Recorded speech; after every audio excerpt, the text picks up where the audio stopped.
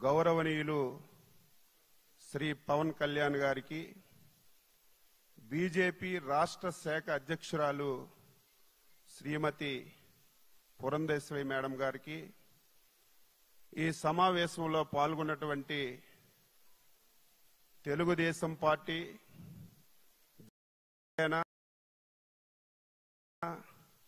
BJP నా తోటి శాసనసభ్యులందరికీ పేరు పేరున శిరస్సు వంచి హృదయపూర్వకమైనటువంటి నమస్కారాలు తెలియచేస్తున్నాను. దేశ చరిత్రలో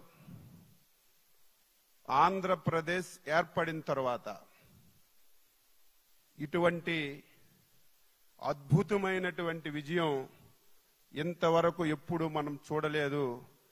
అటువంటి విజయాన్ని మనం సాధించాం. ఆ విజయానికి కారకులైనటువంటి అధ్యక్షులు చంద్రబాబు నాయుడు గారికి ప్రధానమంత్రి మోడీ గారికి పవన్ కళ్యాణ్ గారికి పురంధేశ్వరి మేడం గారికి మరొకసారి హృదయపూర్వకంగా శిరస్సు వంచి నమస్కారాలు తెలియచేస్తున్నాను. అద్భుతమైన విజయం సాధించామని ఆనందం మనకున్నా సరే మనందరిపైన గురుతరమైనటువంటి బాధ్యత కూడా ఉంది అని మనందరం కూడా ఒక్కసారి గుర్తు పెట్టుకోవాలని చెప్పి సందర్భంగా తెలియచేస్తున్నాను. ఈ విజయానికి సహకరించినటువంటి ఐదు కోట్ల మంది ప్రజానీకానికి తెలుగుదేశం బీజేపీ జనసేన కార్యకర్తలకి నాయకులకి ఈ సమావేశం ద్వారా శిరస్సు వంచి నమస్కారాలు తెలియచేస్తూ ఈరోజు తెలుగుదేశం పార్టీ శాసనసభ పక్ష నాయకుడిగా శ్రీ నారా చంద్రబాబు నాయుడు గారిని ఏకగ్రీవంగా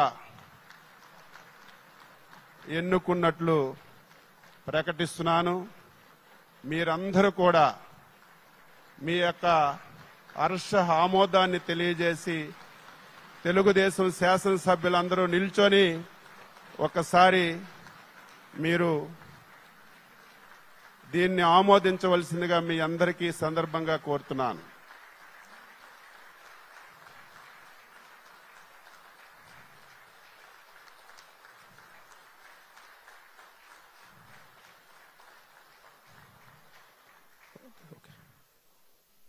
ఇప్పుడు జనసేన అధ్యక్షులు అంటే ప్రతిపాదించుంటారు సార్. అంటే అండి